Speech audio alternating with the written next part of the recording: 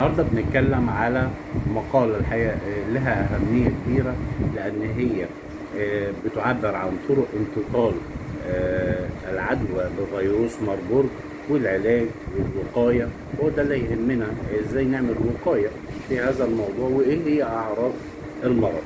طيب لو جينا نتكلم على حالات العدوى بفيروس إيبولا وفيروس ماربورغ لأن في بينهم تشابه في آه، كتير من الحاجات. نتكلم على آه، آه، إن تتسبب حالات عدوى فيروس ماربورغ وفيروس إيبولا في حدوث نزف وخلل في وظيفة الأعضاء وتؤدي حالات العدوى للوفاة غالبا بس إحنا بنؤكد إن فيروس إيبولا ما هواش فيروس ماربورغ لكن في تشابه في حاجات كتير. تنتشر عدوى ماربورغ وإيبولا من خلال التعامل مع الحيوانات المصابة الحية أو الميتة أو عن طريق ملامسة جلد أو سوائل جسم شخص مصاب بالعدوى ظهرت عليها الأعراض أو توفى.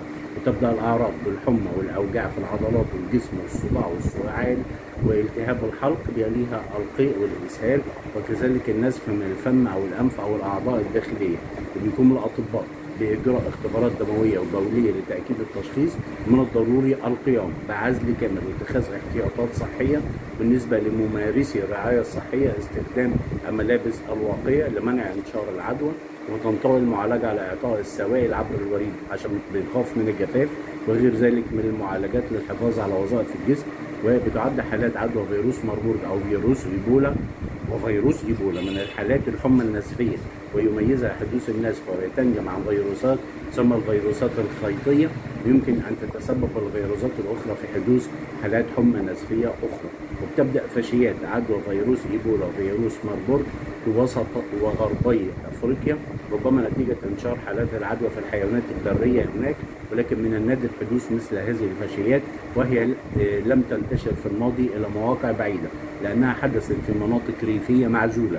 عادة ولكن المسافرين من تلك المناطق يحملون العدوى المناطق المجاورة في بعض الأحيان أو إلى خارج أفريقيا في حالات نادرة. عشان كده المفروض نبقى حذرين من الناس اللي جايين من المناطق الموجوعة وفي آه، ديسمبر 2013 بدأ تفشي فيروس إيبولا في المناطق الريفيه بغينيا غرب أفريقيا ثم انتشر المناطق حضريه كثيفة السكان في غينيا وإلى ليبيريا والسيراليون المجاورتين.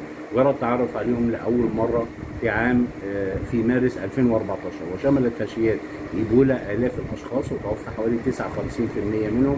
وقام عدد قليل جدا من المسافرين المصابين بالعدوى بما في ذلك العاملون. في مجال الرعاية الصحية العائدون من منازلهم بنشر فيروس إيبولا.